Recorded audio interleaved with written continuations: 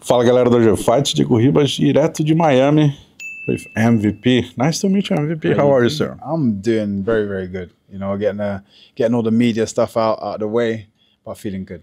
Welcome to UFC. uh, how does it feel? Is it too different already?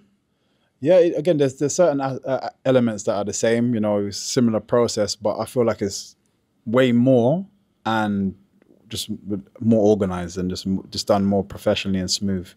When you say way more, way more interviews and stuff like that. Yeah, there's a there's, you just you just it's you realize how big, like you know how big UFC is, but when I'm doing all the media, it's like we did media for Japan, media for you know um, Australia, media, for, and it's just like yeah, I forget. Brazil. yeah, and Brazil, you know, and I forget that how big UFC is to the world.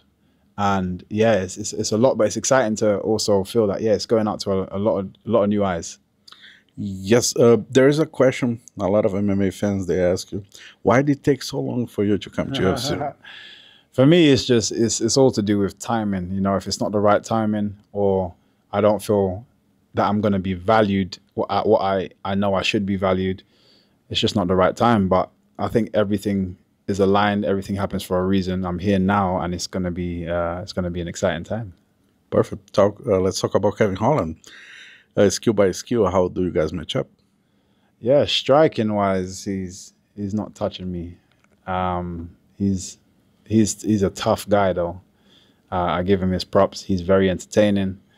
Um, he's got some slick jiu-jitsu on the floor as well. You know, those long arms can be dangerous if you your head gets caught in the wrong place. Long arms can be dangerous. I've seen him catch out a couple people.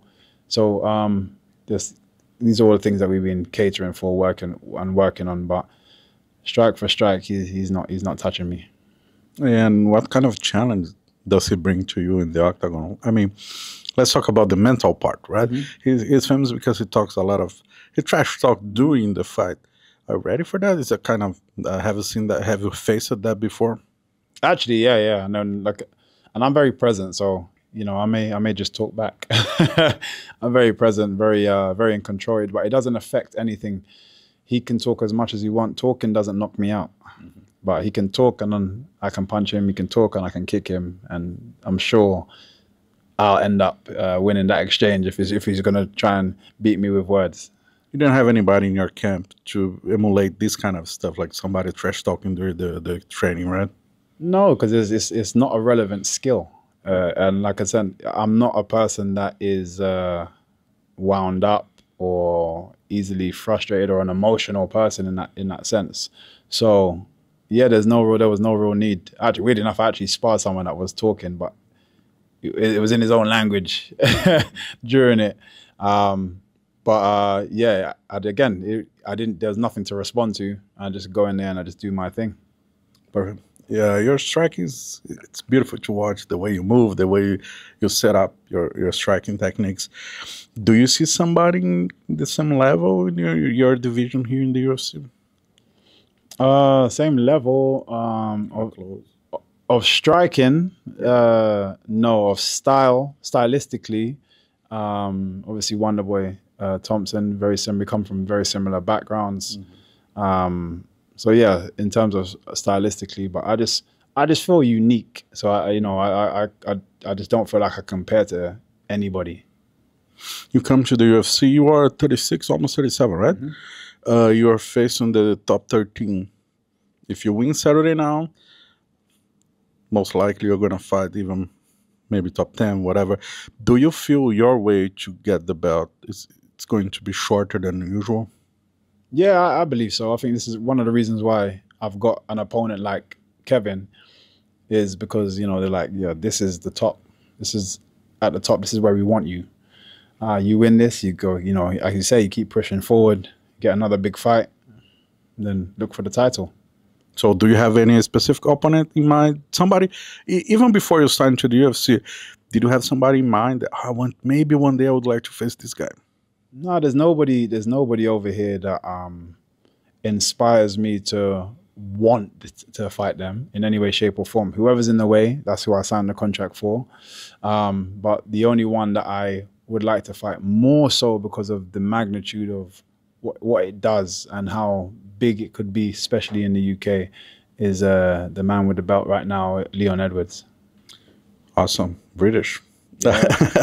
uh, two more questions. Uh, for the fans that don't know you, what do you bring for the the welterweight division? Why they should uh, look to your fights? I'm a new lease of life in the division. I think it's a great division anyway, but to have somebody with my swag and energy and showmanship, again, people just just to the UFC full stop. I feel like people don't deliver that uh, enough, that uh, showmanship, and I have that and big knockouts as well. So that's what you need to look forward to. Perfect. As I told you before, I'm from Brazil. And you know, like all the MMA fans in Brazil, they know you specifically for one fight when you're facing Evangelista Cyborg. Yeah, yeah. It is the biggest highlight. I guess it is the biggest yeah. highlight in your career. That knockout was impressive. Um, do you remember all the details about that that knockout? And because the damage was kind of unique. Yeah, no, obviously uh, the damage was we weird enough we was practicing, and this is I always say I, I give all credit to my coach for how it happened. When um, when I crossed over from kickboxing, the kickboxing style that I used, we didn't use knees. I had no low kicks. I had no elbows. So this wasn't something that was in my, you know, my locker, in something that I, I would use. And my coach was like, um, okay, you know, Cyborg, he likes to lean forward heavy and then swing big overhands and he catches people out because people like to lean away when he puts his head forward and then he goes over the top and lands a punch. Mm-hmm.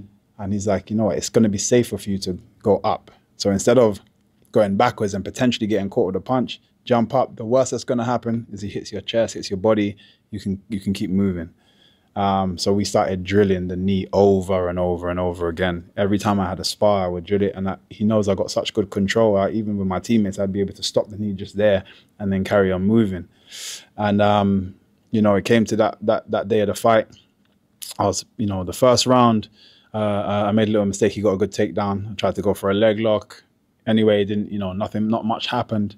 Stood back up, went back to plan A you know, I'm I'm waiting for him to press forward. He really wasn't. He was he was a little bit too intimidated from my movement.